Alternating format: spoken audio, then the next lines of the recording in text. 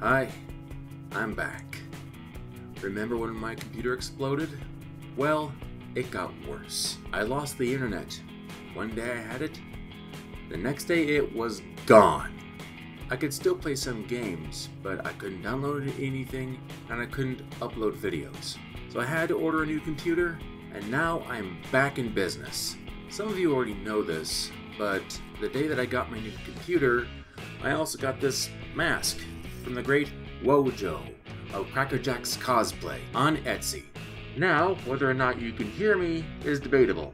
Anyway, I've also had a surge of new likes on my Facebook page. I just wish that they would come here since this is what my Facebook page is for. Sorry for how the next video sounds. I forgot to plug in the mic, so it used the built-in mic in the camera. Either way, I'm back in the saddle and plan to start making videos again. I also hope to be more consistent.